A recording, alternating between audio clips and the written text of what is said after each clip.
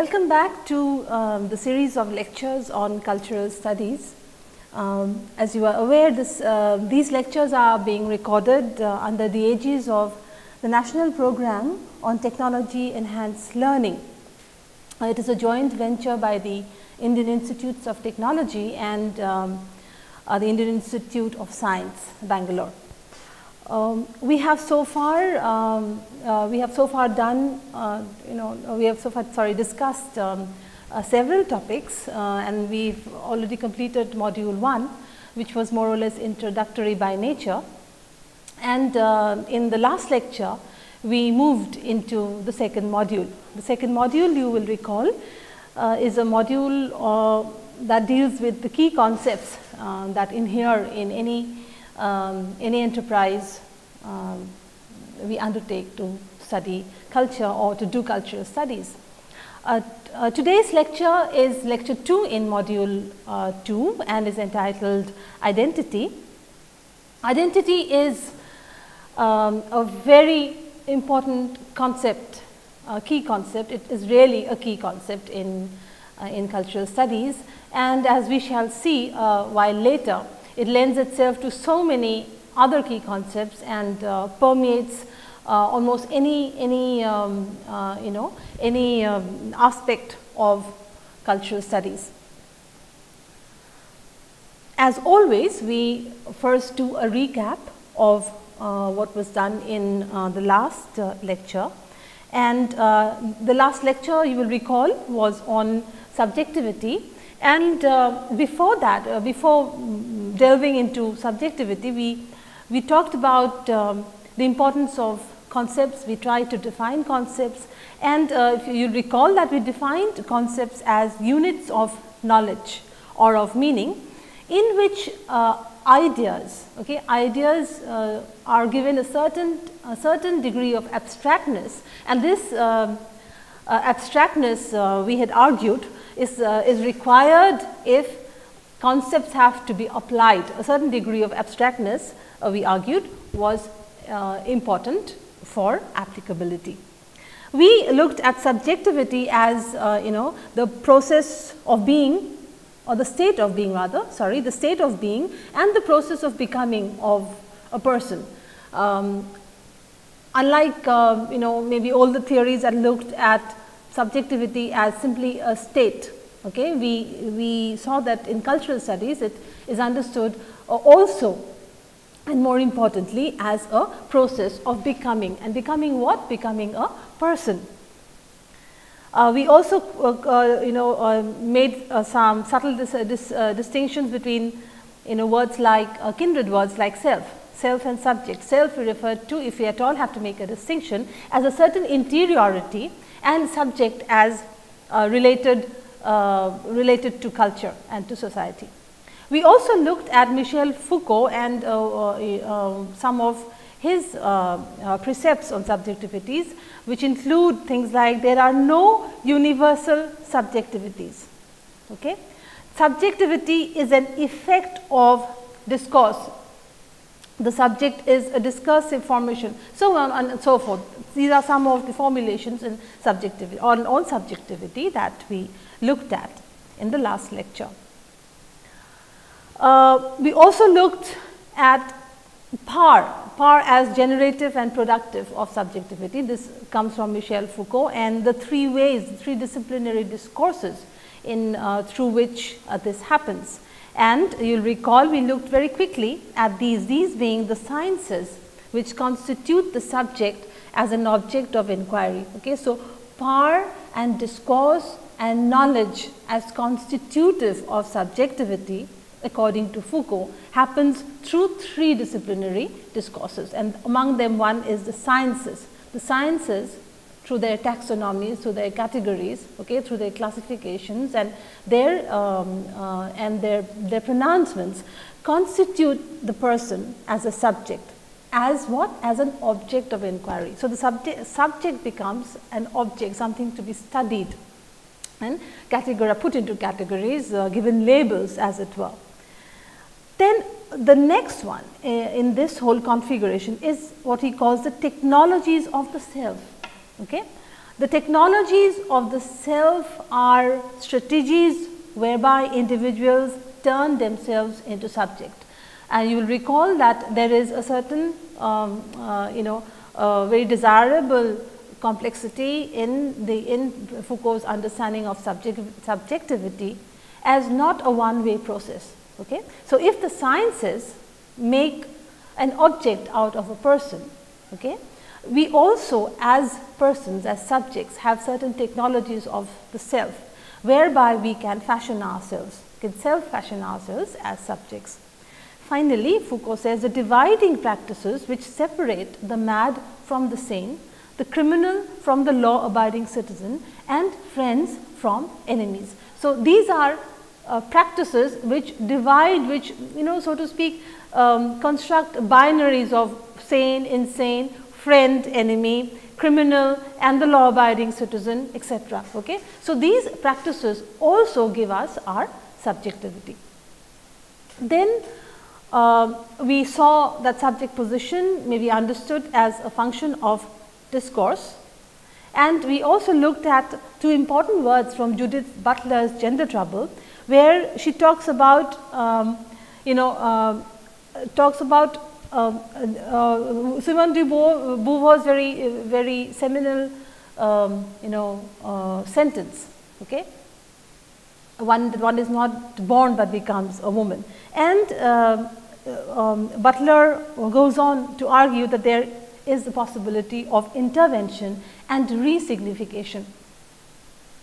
Okay, the, we can intervene since subjectivity is a process of becoming and it's you know all is never it never ends we can we can intervene and re-signify what it means to be a person what it means and we can construct our own subjectivity well today we uh, we are going to talk about identity. You know, there are um, several occasions on which you will find that identity is conflated with subjectivity. Uh, identity and subjectivity are often interchanged in a very loose sort of a way. Okay? So, since this module is on key concepts, it is important for us to understand the shades of difference um, you know among uh, among topics or between uh, you know two topics. So, we are going to talk about identity in today's lecture. Now, as I said in the beginning of this lecture, identity is phenomenally important. Uh, so, the topic um, uh, for today in, uh, in this lecture is identity and um, uh, as I mentioned in the beginning of uh, this lecture. Identity is uh, you know a very important concept. There are so many key concepts, but identity as far as cultural studies is concerned is an important uh, concept and one of one of the reasons is that it lends itself to an analysis or it lends itself to you know any discourse. For instance, the discourse of class, okay, the discourse of ethnicity, the discourse of gender, race and sexuality. Okay. One can talk about one's class identity or one's uh, you know sexual identity or one's racial, uh, ethnic or gender identities. Okay. So, it, uh, it is an important concept and well let us look at um, uh, some of the formulations on identity. Okay. So, uh, let us attempt uh, a preliminary discussion or a preliminary uh, uh, understanding of the term identity. As a concept in cultural studies, okay, identity, uh, well, at least vis-a-vis -vis subjectivity, okay, let us put it this way, identity is seen as a framework. Okay. Identity is seen as a framework uh, for the instantiation or for the you know what should we say the articulation of identity and identity is external.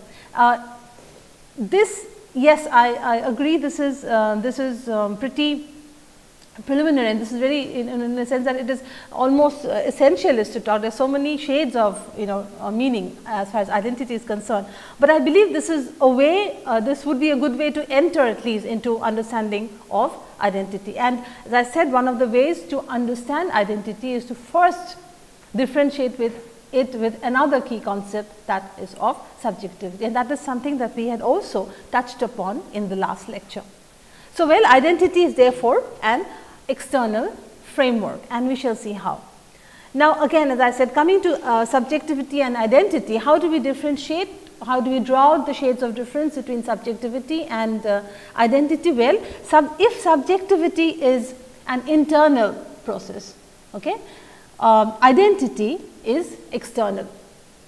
Subjectivity is uh, may you know as we seen in the previous lecture, subjectivity may be defined as what does it mean to be a person. Okay? Uh, from that point of view, identity then would mean how do other people see you. Okay? So, if subjectivity is what you feel, what does it feel like to be a person, identity is how other people see you. So, um, continuing in the same vein, subjectivity is therefore how you are constituted as a subject and our experience of ourselves. Okay? So, subjectivity is the constitution of the subject and our experience of ourselves of what it means to be a person. Okay? On the other hand, identity is not only just how we see us, but how others see us. This is an important point here. Okay? Identity entails how others conceive of us and how others try and and so to speak manage us and manage uh, um, what who we are, what we are etc. right to understand us. So, identity may uh, have uh, you know um, uh, a few other connotations. For instance, we many people talk about self identity. Okay? So, how do we define self identity? Self identity are verbal conceptions of ourselves. Okay? They are verbal conceptions of ourselves or they are they are attempts to know ourselves okay? And uh, know ourselves through language right? On the other hand we also have this uh, uh, this uh, other uh, shade of or meaning of identity which is as we see here in this slide which is social identity okay? Let's go back. We were talking about self identity and now we are talking about social identity. Social identity are not is not uh, the verbal conceptions of ourselves as in self identity.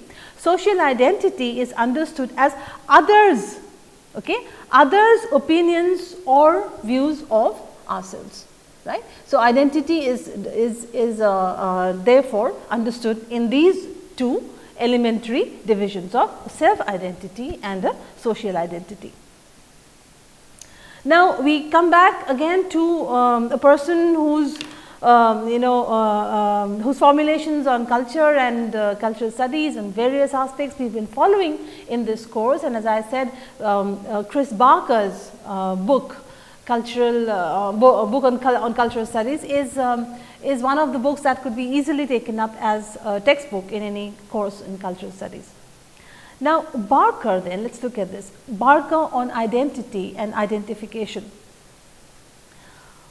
Barker defines identity as, and this is an important point here, an emotionally, okay, an emotionally charged discursive description of ourselves that is subject to change. There are two, two or there are more than two aspects here. One, is identity and our identification with, uh, with uh, any phenomenon or event x okay, is he says an emotionally charged, we are attached to that, we are attached to identity.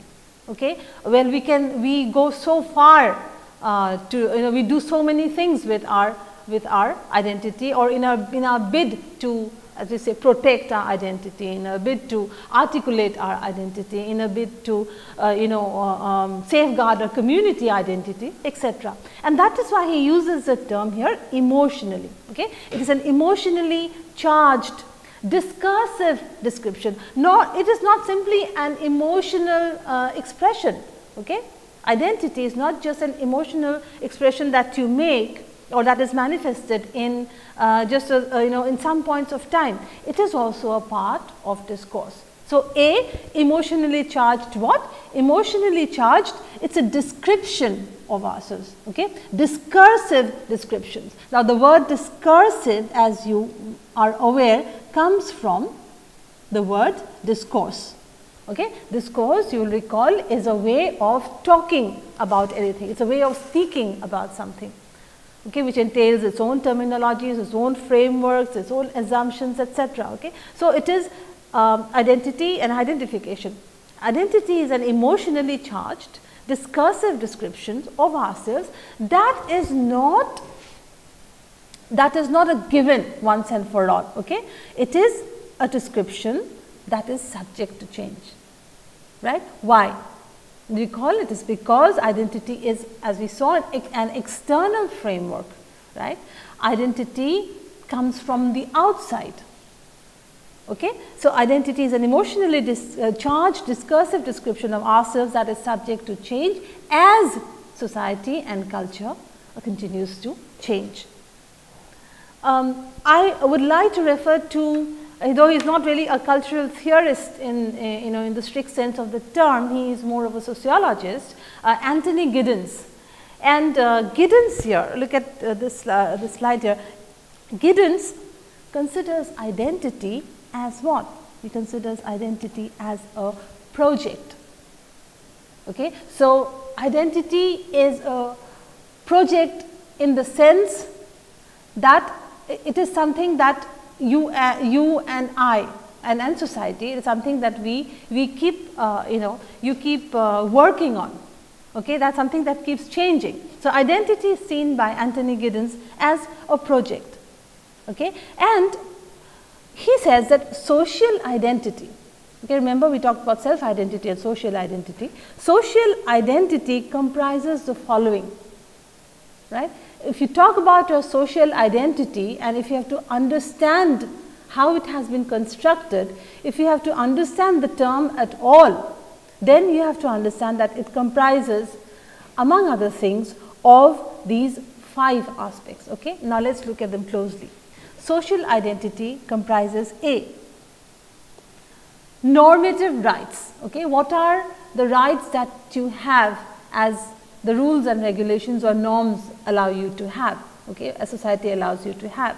Along with the normative rights comes second the, the, the issue of obligations. If you have normative rights given to you um, that, that give you your sense of identity which is given to you externally by society, you also uh, have certain obligations. Then there are certain sanctions okay, that are given to you, that are allowed to you by society, right. And finally, there are roles that you, that you play and these roles, okay, these roles are constituted by what? These roles are not arbitrary, these roles are not uh, you know there for all time to come assigned to you for all time uh, to come. These roles are dynamic and these roles are constituted and I would say these roles are constituted by the these three points above them. A the rights that are given to you, B the obligations that you have to, have to perform in return and C the sanctions that are given to you by society. So, the, the roles that you play are are and that define your social identity so to speak. And finally, he says number 5, the markers. Now, what are markers? Markers are certain uh, you know markers are signs. Markers are certain signs and symbols. Okay, that's they, they signify your identity. Okay, if we have a national anthem, if we have a regional anthem, that is a marker if you wear a certain kind of uh, uh, attire, if you, if you, um, you know, hold on to your language, right, as a sign of your identity in that sense, as a sign of or a symbol of your identity, these are the markers that you carry, these are the markers that you, uh, uh that you use, so to speak, in order to express that social identity which is yours. The important point here to to, uh, to be noted is again this. And I can't say uh, you know be saying too much about this really all uh, you know. Um, social identity is something that has been constructed. It has you know these five points normative rights obligations sanctions roles and markers are you know what we talked about just uh, a couple of minutes ago are or they constitute the framework. We call these words framework, external frameworks. These constitute the framework through which identity is expressed even as it is constituted, constituted or constitutive. Okay? Therefore, in cultural studies terminology, in cultural studies understanding, okay, identity is here not you know it is not a thing. Identity is not a thing but it is a description in language.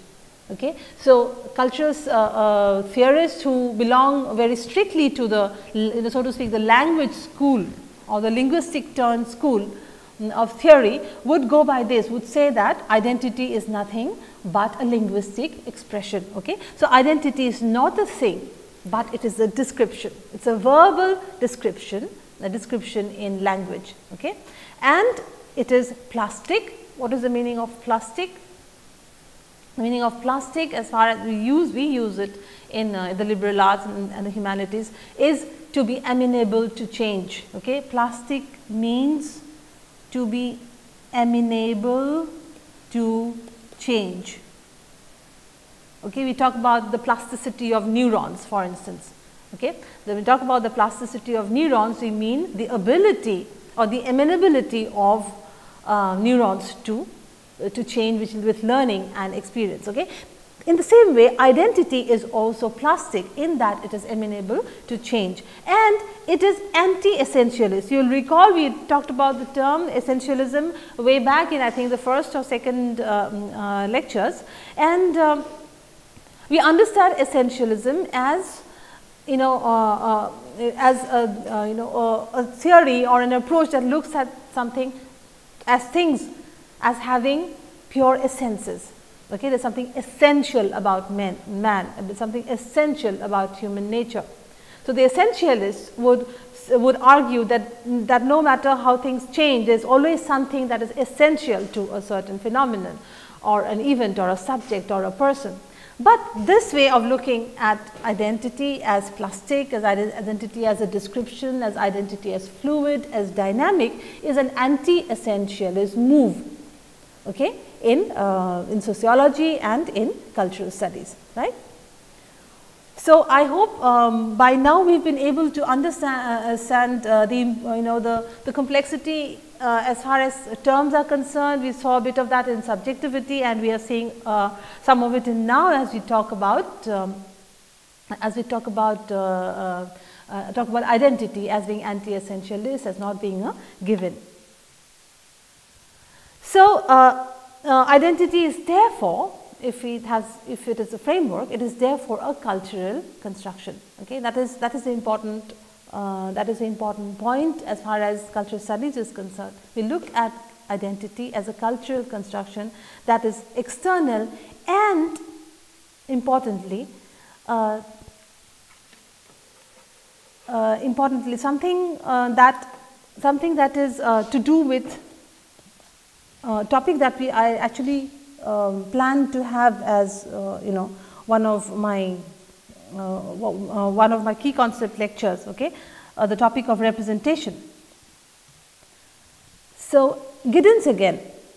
Identity entails our ability to sustain a narrative about the self okay? So um, it may be an, an, an illusion also but identity involves um, a person's ability to look at this word here ability to sustain you know ability to sustain a narrative about the self. What is a narrative? A narrative is understood as a story. Okay? So, a story has a um, normally has a beginning, a middle and an end. Okay? So, to possess an identity, to have a certain sense of continuity of identity or something that uh, you know uh, uh that uh, even if has, that this has been built or has been constructed nevertheless has threads of uh, continuity has threads of uh, you know um, threads of a certain what should I say a certain as it says here the word coherent a certain coherence okay. So, these are the terms he uses coherent biographical and continuous Okay? So, identity entails to have an identity entails our ability to sustain, okay, to keep it going, a narrative about the self. And it is a narrative that has to have some meaning, if not an ultimate value for us. And that meaning and meaningfulness is arrived at by our sense of that narrative of the self as being coherent, as biographical coming from ourselves okay, and as being continuous. Therefore, we understand identity as what? Finally, if you have to sum up uh, these points here, the points that we have been talking about, identity is constructed, identity is negotiated and identity is defended. Okay? The fact that identity is constructed is something that we have looked at. Identity is also negotiated. Okay? Do not think that as even as we are doing theory, uh, that we are the cultural theory, the cultural concepts, that we are the people who, who understand the constructedness of uh, you know, the fluidity and the dynamism of, uh, of identity. Uh, it is not so. Okay? To a certain extent, everyone understands that these are, these are identity uh, is an issue that you can negotiate. It is, I would say, I would even hazard saying that this, that subjectivity may not you know come very readily to all of us as something that can be self-fashioned, something that can be negotiated. Okay, your, uh, I know I am hazarding this, but somehow this is, this is what I would like to submit right. But identity because you are aware that it is a label that is being given to you okay and it is uh, it is in that sense uh, you know um, a very political issue okay? You or a group can always uh, always does have a feeling that one can negotiate one's identity okay? And identity is something to be defended. Uh, let me put it this way, if you look at you know uh, collective identities and collective subjectivities, which is more negotiable? It is in the first place difficult, difficult to have a collective subjectivity. Subjectivity as an inward process, subjectivity as a feeling of what it means to be X, what it means to be a person, right? Uh, I am not saying it is impossible, but it is difficult to have a collective subjectivity simply because every person is so unique, right. The inner workings of one's mind is contingent, uh, um, um, you know these workings are contingent upon time, space and one has to have a clear idea and vision of how the brain, the human brain works that gives us a subjectivity. But identity in this sense, okay, I am arguing simply from the point of view you will understand of uh, uh, from the point of view of difference the difference between um, subjectivity and identity identity being external and being a framework right uh, being constructed through what remember norms normative rights obligations sanctions roles markers are things that we realize uh, and we can negotiate them uh, rather more readily than we do for collective subjectivities. Okay? And the defend, we defend identity, uh, whether individual or collective, we defend these from, uh, you know, uh, from misrepresentation by people by people or by, by maybe other groups. If you're talking about the individual person by another person. So we defend and that is why identity and if you look at identity politics is, is uh, you know, uh, it's so complex an issue.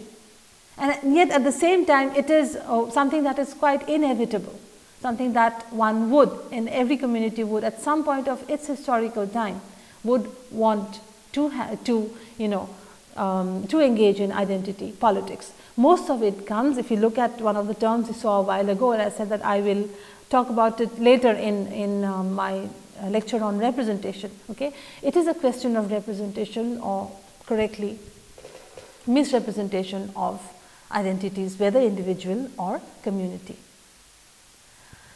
Now, the, the, the orthodox view, okay, let us look at this uh, here, the orthodox view of again if you understand of self understanding okay, was a view of the self as autonomous and unified. Okay. We uh, uh, previously thought of the self being something that is completely you know autonomous, it has an agency of its own and that it is always unified. some, uh, uh, something that is stable, fixed, something that is given. Okay? The Cartesian uh, thinking sub, uh, substance, I think, therefore I am. This is a uh, this is what we call uh, we could call an exemplary way of this older way of looking at the self as autonomous. Okay, uh, we recall Rene Descartes,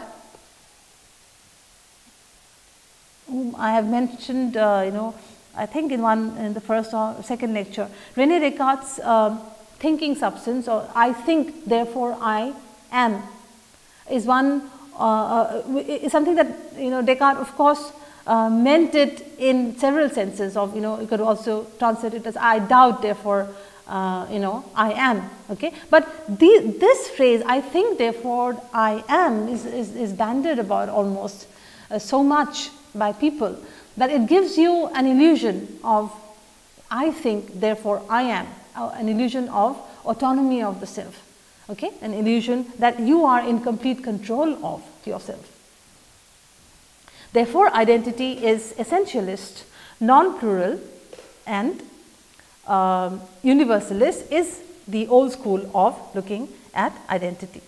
Okay. It was the philosopher David Hume who early on talked about the self or the ego as a bundle of sense perceptions.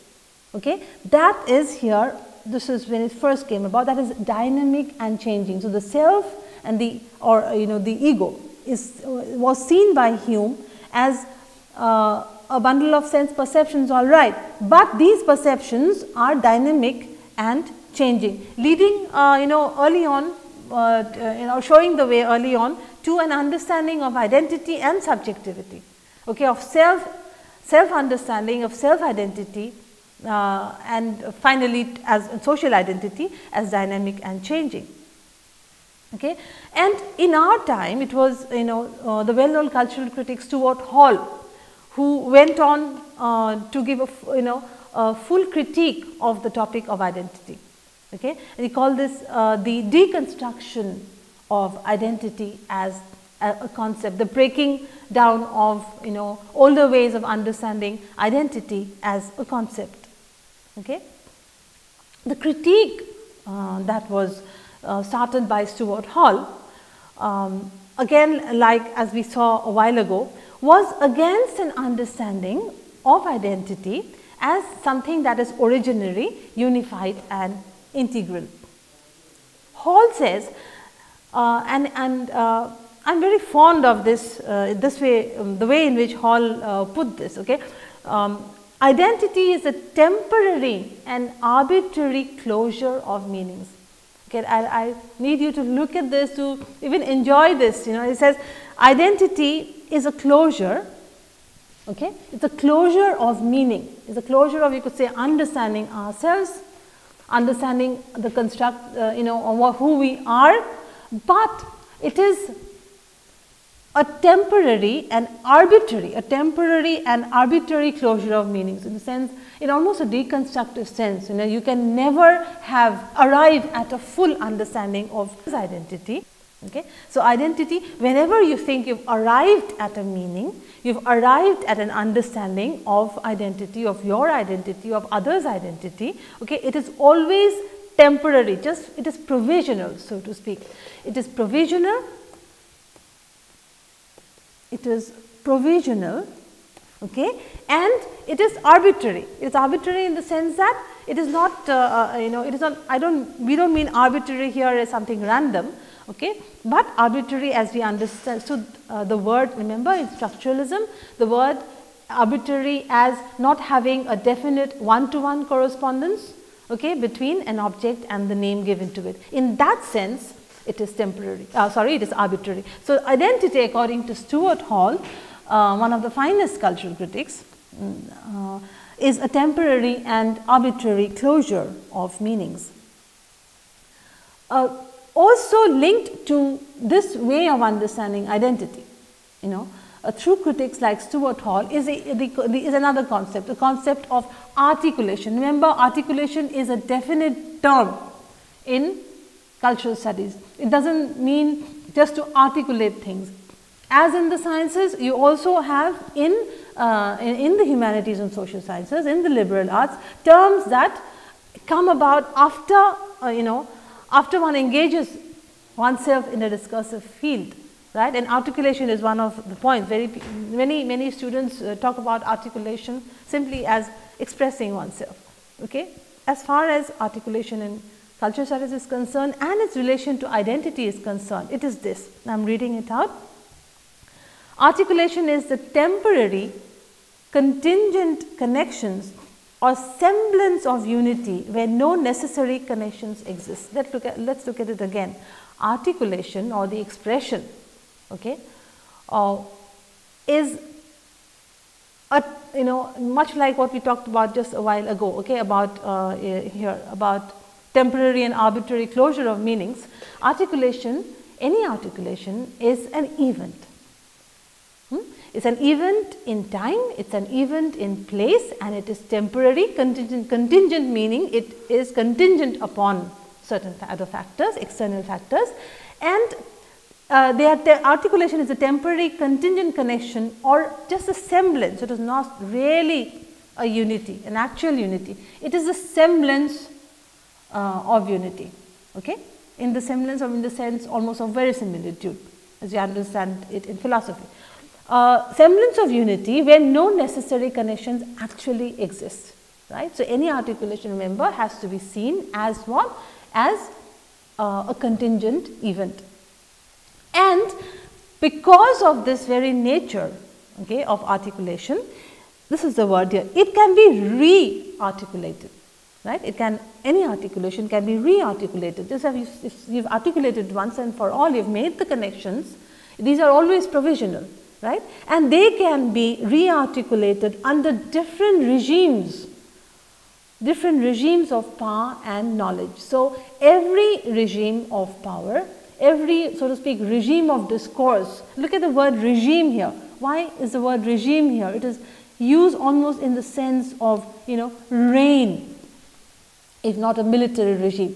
Okay. So, articulation is done re-articulated under different regimes of power and knowledge. Why and how is it re-articulated? Uh, re Every regime or reign or era or you know epistemolo epistemological uh, uh, phase if you if you will okay has certain precepts has certain uh, what uh, you know we call epistemes okay? Has certain epistemes or units of knowledge that are seen as true right? These two are contingent. And these keep changing. So articulation is again re-articulated or re-articulable under different regimes of power and knowledge. And they are connotative and very evocative. Okay. So, you, um, I will quickly quote from another person which uh, from, from Simon During uh, from his book Cultural Studies a Critical Introduction.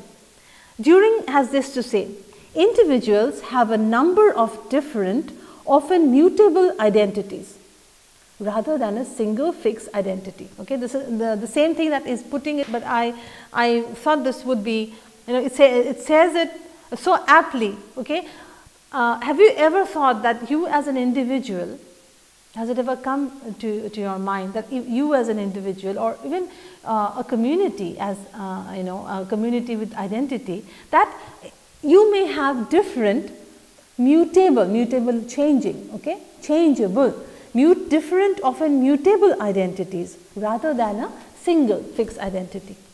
And this spread of identities and the occasions for invention and recombination that it throws up form a ground for political and cultural agency. Okay? The very fact of the mutability of identity, the changeability of identity and the spread of identities, okay, they, they throw up certain, you know, uh, uh, they throw up certain um, occasions, uh, certain, uh, uh, certain historical phases of recombination, right, and they form a ground for cultural and political agency. So, every individual or every community may reinvent uh, himself or herself or themselves okay, because of this very condition of identity. Okay. And what is this? The mutability of identity vis-a-vis -vis a single fixed identity. Okay. So, let us carry on reading. We recognize ourselves in the images of people like us that are communicated to us through the media and elsewhere. Again, I urge you to recall the external framework that we talked about in the beginning of this lecture. Okay? So, how do we identify and how, how do we go, in, go through this identification? Recall uh, Chris Barker again saying that identity, identification entails what? An emotionally charged discursive description of ourselves. Okay? So, this is how it happens. We recognize ourselves in the images of people like us that are communicated to us particularly through the media and elsewhere. Now, these images beckon, these images beckon and seduce us. Look at the terms. These images call upon us, these images call us. Okay? So, these images look at the terms here beckon and seduce us right. Now, the technical word for here is a word called interpolation. Okay? This is the if you have to use a technical word like say articulation. In, uh, sorry, uh, the word here is inter interpolation Okay? Any cultural object, any uh, object that represents something or any media artifact, okay, they interpolate, they talk to us, they call us, they call upon us to pay attention in the sense that look this is what you are, okay, this is what you have to be, right. These images beckon and seduce us. Now, here it is given here technically speaking, they interpolate us, they call us. As now look at this, invite us to accept their versions of who we are. Okay, and this is a trap that we often fall uh, fall into because identity is external. Okay? These images, for instance, a media image or an image in a book or a novel for instance, or, or an, uh, an image or an idea that is given to you by a propagandist pamphlet also. Okay? These images, they call us, they beckon, beckon to us and they invite us to accept their version, this is the point here, their version of who we are. Okay? So, very often then if we are not careful, our identities are carved by somebody else and they are carved by the images that we consume. They are carved by the stories that we consume. Okay? So, it is not just a media image here, it could be also a myth okay, or a legend for instance. Right? These are these are also the so so to speak the images that are there to beckon us and to accept their version of who we are. If you take an example, the importance uh, you know, the, the, not just the importance, the sheer power that the idea of uh, say a mythical figure has, so sheer, uh, uh, Sita for instance. Okay? So, this image of uh, Sita is, is for women something that is, you know, it is a version of uh, who we are and that version interpolates us and tells us this, this is what you have to become. Okay? Recall the enormous hold that mythical uh, ideas and images have on us, right. Then and ultimately what draws subjects into this process of identification is their desire for wholeness and coherence. Okay. Uh, remember Giddens, what did Giddens say? That identity is you know uh, our attempt to sustain what? A narrative about ourselves. And what sort of a narrative? A narrative that is biographical, a narrative that is coherent, uh, and a narrative that is continuous. Okay? Now, this is echoed here. Ultimately, now look at, let's look at this. And ultimately, what draws subjects into this process of identification is their desire. Okay? We all of us, uh, given the fact that the world is chaotic, right? That, that disorder is a part of our, of, of our world, that order is perhaps an imposition we make on the world. We have a desire for wholeness, we have a desire for coherence, for meaning that we want to hold on to. We do not like uh, you know fragmented things. We do not li like to live, most of us do not like to live in fragmentation. However illusory, we would like to have a sense of coherence, of wholeness, of a personal biography, of a narrative that is continuous and that has and that gives meaning, meaningfulness and value to us. Okay? So, um, this is what draws subjects, what draws subjects, you know in this case draws almost in a magnetic sense, right. Uh, you could also say why do we fall, uh, fall for these sort of images and interpolations. Ultimately what this is, it, this happens okay, because deep down each of us has a desire for wholeness, has a desire for coherence, for meaning making. Okay. And why does this desire happen? The, the point here is in the last um, part of the sentence. The desire is driven by a lack of secure grounding in this world. Okay, the lack of grounding uh, is the reason, is the cause for us uh, nurturing a desire, okay, to, ident uh, to a certain identity, to a certain even identification, which is, as I said, an emotionally charged one, okay, and we go in for these images that interpolate, that is, as I say, beckon and seduce us, okay. Therefore, um, let us keep reading here. Identities then are not given in terms of what individuals are as a whole, but in terms of more or less arbitrarily selected features that they possess. For the most part, individuals have little power to choose what features will be used to identify them. They are determined socially from the outside. Okay. Um, uh, because now this is one point which I would like to uh, you know uh, end with really here is uh, the, the importance of, of identity uh, vis-a-vis -vis globalization. Okay.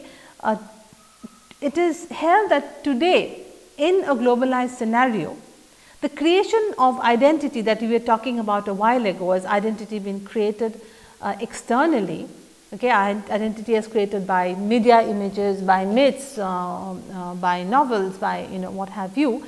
Uh, in a globalized setup, the argument that has been given by cultural theorists is that identity is a creation through the market forces. This is one thing I would like you to keep in mind and if we talk about globalization and when we talk about globalization at some point of time I would come back to this, but suffice it for now to understand that identity is seen as a creation through market forces.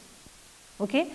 Um, this is one we need to be absolutely you know careful about right to see that it is a market that creates and sustains our identity and interpolates it. are market uh, forces and, and uh, um, artifacts that you know uh, that interpolate and seduce us. Okay? Because of this, there is a counter.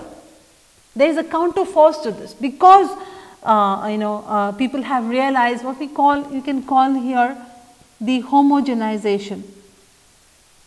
The homogenization okay, uh, of this sort of interpolation um, there is a revival of traditional identities.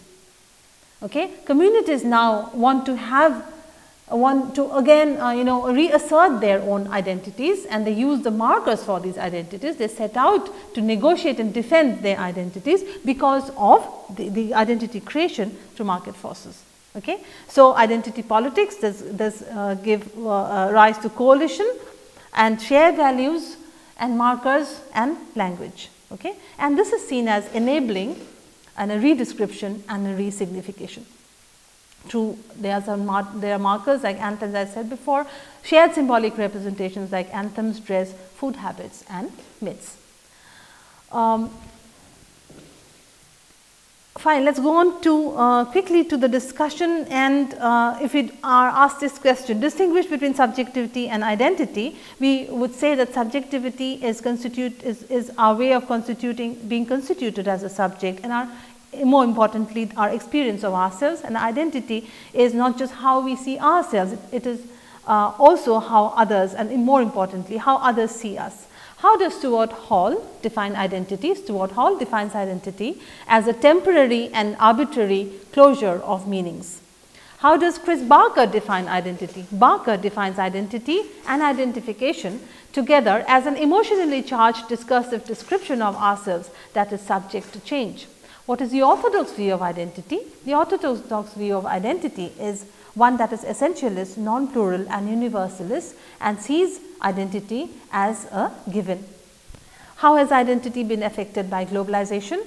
Identity has been affected by globalization, A in the creation in of identity through market forces and a certain homogenization as I mentioned a while ago and uh, uh, as a counter force to it we see the revival of traditional identities as a counter to the homogenizing forces.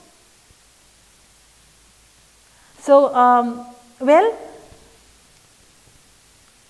we have come uh, to the end of um, end of uh, uh, uh, this lecture on identity and um, um, I would like to say uh, that this is just the beginning. We are sort of just uh, you know scratching the surface of, of this key term identity and um, uh, it is important however to understand these elementary you know this, this first takes on identity. If we are to articulate ourselves, if we are to write uh, you know papers, if we are to write to talk about if at all in any, in an intelligent manner on identity. And uh, this is what I wanted to bring uh, to you. And I hope uh, in some of the lectures later on uh, this uh, the term would come up and in an attempt to show the applicability of identity as a key term. At least I hope I can bring this in for the time being. I think this should suffice and just, just a few, just the few key uh, points and differences that I made and the, the understandings through Anthony Giddens, through Chris Barker, Stuart Hall, Simon During, stay with these. And uh, for a start, we ponder on this and to internalize these concepts. Okay? Thank you so much.